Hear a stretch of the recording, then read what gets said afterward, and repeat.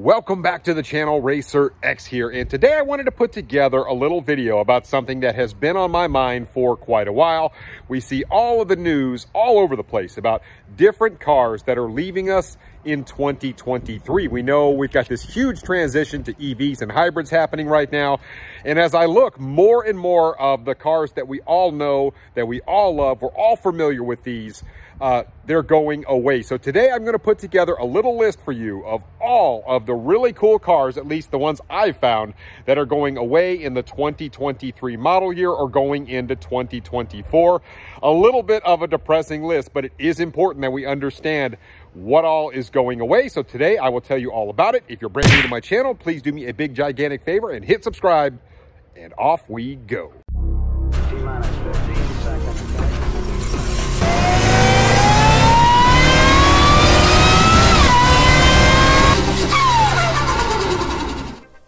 So the topic of this particular video is a little bit weird for me, but I feel like it is important because it's pretty glaring when you look at the list that I've compiled right here of all of the amazing cars that are going to be leaving us essentially this year moving into next year. And uh, it is really kind of a changing of the guard. And everything has sort of come full circle when you talk about the automotive community in general, right? I mean, it's like you saw in the 80s, everything kind of started going smaller displacement, considerably less power. And now here we are all the way up in 2023, and we, we're kind of seeing the same sort of thing. We're not going down in power, but displacement's going down and we're replacing everything with EVs and with, uh, with hybrid technology. And so while that may be a more modern way to go for your traditional uh, enthusiast, maybe it is not ideal. So I've compiled a whole list of cars right here all in one place so you know what will be leaving in uh, 2023 going into 2024. Now do keep in mind, this is not a full comprehensive list, but I did do quite a bit of research and I tried to find uh, a bunch of cars that I felt like the automotive enthusiast community would be interested in. So you've got a lot of other smaller, you know, cars out there, compact SUVs. Some of that stuff is going away as well. I didn't really feel like it was noteworthy for the purposes of this particular video, but a lot of noteworthy stuff here. So first of all, the Chrysler 300 uh, after a really long run with the Chrysler 300, one of Chrysler's sort of flagship sedan vehicles. Uh, the Chrysler 300 looks like it's going to be going away in 2023 or after the 2023 model year. We know Dodge is undergoing a huge transformation right now, and it is a little bit weird to see the Chrysler 300 going away considering Chrysler as a company uh, only makes two different offerings, right? They make a minivan in the Pacifica and they make the 300. Well, if the 300 goes away, then what's Chrysler going to do? It's just a bit of a weird thing. So unless something weird happens and Chrysler comes out with something else, uh, which I've not heard anything about. They've just been kind of lurking in the shadows. It looks like if you are a Chrysler 300 lover, this is your last opportunity, 2023, to get one of those cars before they go away. An iconic thing uh, that we're seeing sort of go off in the distance. Next on my list is our beloved Chevy Camaro. And we've been hearing about the Camaro go away for a long time. We know obviously they had a redesign in the Camaro and the sales of the Camaro just kind of went down. And then we had COVID and that didn't help anything either. But uh, the Camaro still a really cool platform. I've heard rumors and I've actually put a video about the fact that Camaro may be its own brand moving into 2025 and they may offer like an SUV EV version of the Camaro, which would really be weird to see.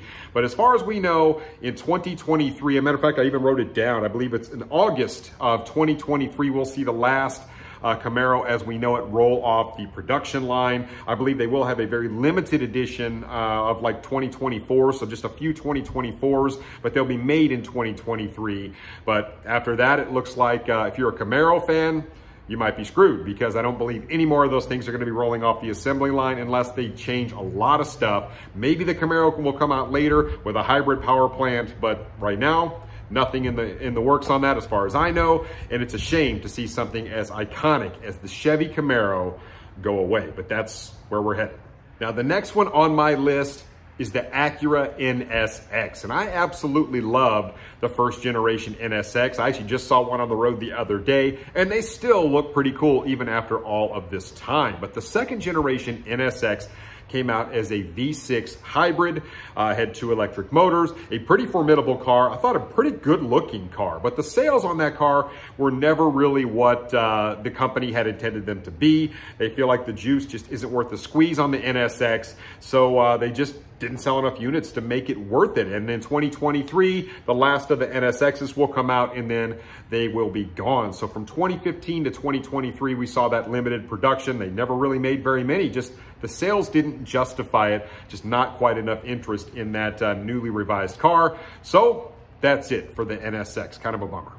Now this next one really does sting. I was a little uh, surprised actually to find this one out, but the Audi R8 will be discontinued in 2023. This is a car that has been out forever, that iconic Iron Man car, same power plant you get in a Lamborghini Huracan if you get the V10. Um, I mean, just a fantastic car, very cool interior on this, a real supercar and uh, we're seeing these, you know, these big, uh, the V10s, we're seeing the V12s, all that kind of stuff. They're all going away. So to see the R8 after all of these years go away, it just, oh, it's so hard to think about. But uh, yeah, 2023 is it on the R8, on to other things. This next one is also a little bit hard to stomach.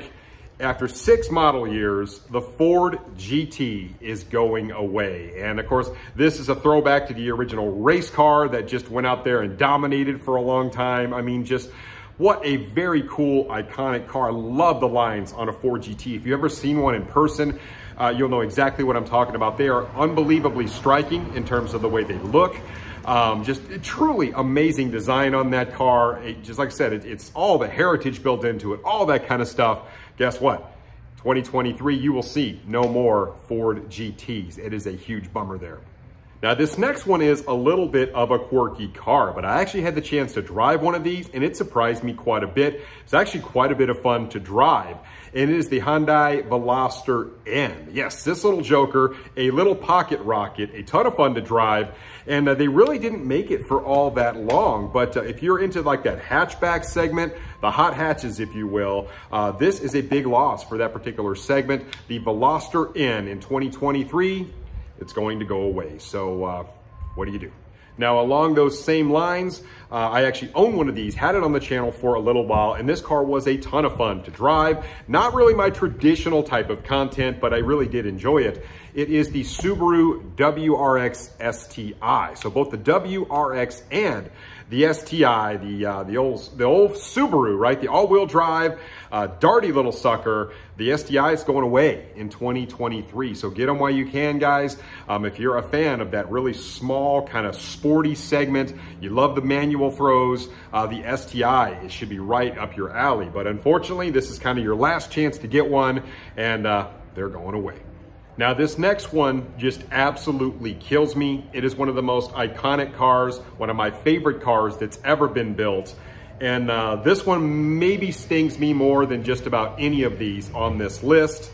It is the Lamborghini Aventador. Yes, in 2023, our beloved Aventador, it's done. So uh, you will no longer be seeing Aventadors be rolling off the assembly line. Of course, they made you know, the SV and the SVJ, and they had different versions of it. Matter of fact, all the way up to this last one, which was the uh, the LP780-4. Uh, Ultimate, I believe is how it's pronounced. They only made 60 of those things, so good luck getting one. But I mean, what an iconic, beautiful car. Amazing sounding V12 in this. Like I said, guys, this one is right at the top of the list in terms of cars I would absolutely love to own. Dream cars of mine. Well, uh, a bummer. It's going away. And uh, I don't know what else to say about it. Uh, in addition, the Lamborghini Countach, they only made that for one model year. Of course, this was a very, I, I, call it a light hybrid. This one did have a little bit of hybrid technology built into it. Um, 802 horsepower, the Countach, but we knew it was going to be very limited production and only one model year. But once again, that's two more iconic Lamborghinis that we will no longer see after 2023. Now this next one was a little bit of a surprise, but I felt like it was at least worth mentioning because it's an entire class. The Mercedes-Benz A-Class. I mean, they brought it to us, at least in the US, in 2019, but it just didn't do all that well here. It's a basically, when you talk about the luxury segment, Most people don't want small and luxury in the same car. Uh, there have been several articles written about this, but essentially Mercedes just decided, look, it's really not worth doing at this point. Um, they decided that, look, the small luxury segment just, it really isn't there for buyers. They want something a little bigger. So the A-Class Mercedes in 2023, it will be going away. Now this next one, I feel like I should at least mention it just because it is such an iconic car, but the Bugatti Chiron, 1500 horsepower Chiron, right? 16 cylinders, four turbos, all of the good stuff. Um, yes, they are unbelievably expensive. They're extremely rare, all of that good stuff. But Bugatti is going away from the 16 cylinder engines, the four turbos, all of it. They did away with, a matter of fact, the last Chiron actually rolled off the assembly line, I believe, last year. So you will no longer be seeing those built, not that they built that many in the first place. And uh, I'm told by several sources that Bugatti, even the mighty Bugatti will be going to hybrid technology coming up here very soon in their next model. That is a weird thing to think about. Now, this next one did catch me off guard quite a bit because uh, in my mind, this was one of the winners of that segment. But the Nissan Maxima in 2023 or after 2023, it's going away. But here's the thing, the auto industry, as I mentioned, it is shifting, right? So the sedans of the world are becoming fewer and fewer and fewer. They just don't sell. Everybody's going to these crossovers now, these small SUVs. That is what's selling. Car companies know it. So even something like the Maxima, which is like the fastest car in the entire world. If you've ever seen Maximas going down the road, for some odd reason, they're all capable of doing like 240 miles an hour. At least the drivers all seem to think so. It's kind of a long-standing car community joke, but uh, it is weird to see that they're going away from the Nissan Maxima. So after 2023, it'll be a different fastest car in the world.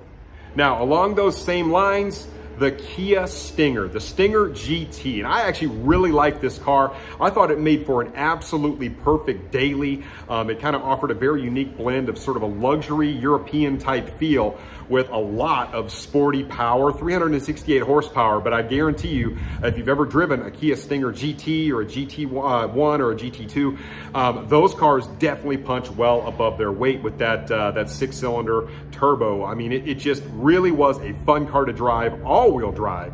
So it handled great in all sorts of weather, all that kind of stuff. It was really one of the best sedans on the market, at least in my mind. Well, guess what? Uh, the Kia Stinger is going away after 2023. That one is a little bit weird to uh, think about as well.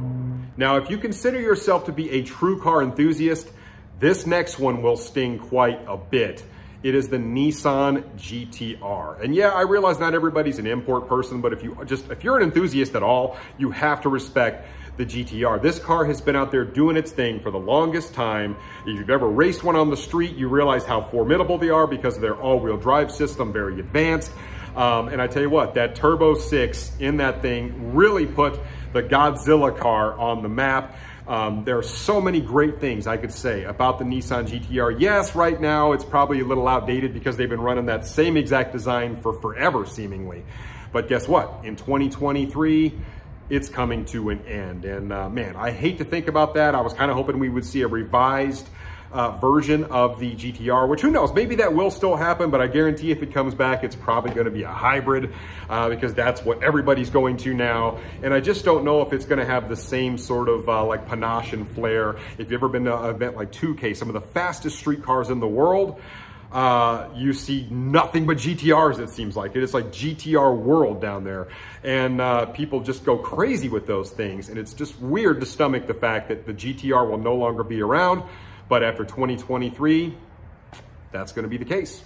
Now, this next one's not quite as big of a bummer, but at least it's noteworthy.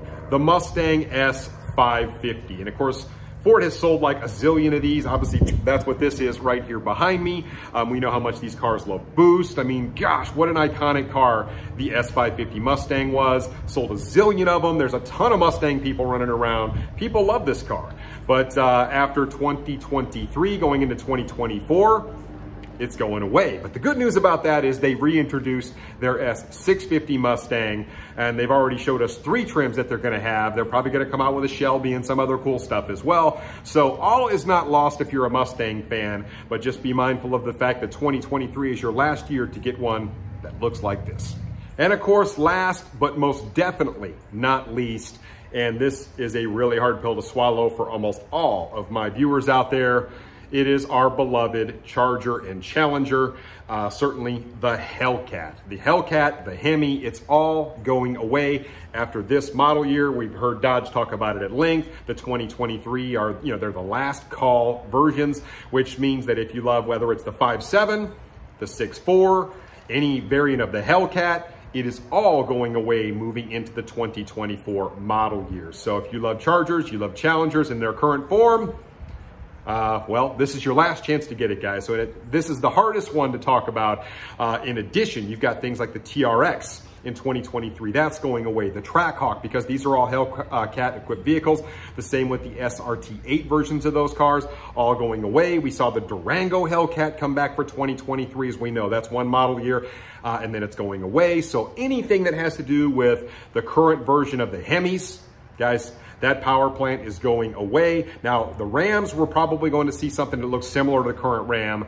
Uh, we do see an EV Ram that just came out, but um, you know, in terms of the power plant that's going to go in it, fully expect to see either a hybrid or a Hurricane, which is, of course, the turbo inline six that they're uh, hyping up so much right now. But uh, yeah, the Hellcat, guys, that is that iconic engine came out in 2015 in both the Charger and the Challenger. No longer a thing. We talked about it at length, but man, this is a really big deal. Now, will they come out with a revised Challenger? I've talked about it a little bit. I do think they will, but it will not be a V8 powered Challenger. It's just not going to happen. So if you love V8s, this one is the hardest pill to swallow.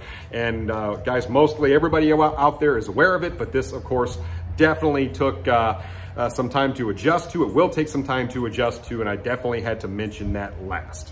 So that about does it for my list of the cars that are going away in 2023, going into 2024. A pretty good size list. And uh, if you are a true performance enthusiast, this one definitely hurts more than a little bit because some of the most iconic cars that we've had out for quite some time they're all going the way of the wind. We're seeing hybrid technology kind of creep up into all of these new offerings. And not to say that it's bad, but it is most definitely different. And the way we have kind of come to appreciate a lot of these, uh, you know, these cars over the past 10, 15, 20 years in some instances, um, it's all changing. So lots of cars to think about. So if you want one of these 2023, it is a, a weird year 2023. So you better make sure you get your order on the books, find you a used version of it, whatever you need to do, because in 2024, the landscape of the car community is going to look completely different. So anyway, guys, that's about it from me for this one. I would love to hear your comments down below and I will catch you on the next one. So until then, Racer X.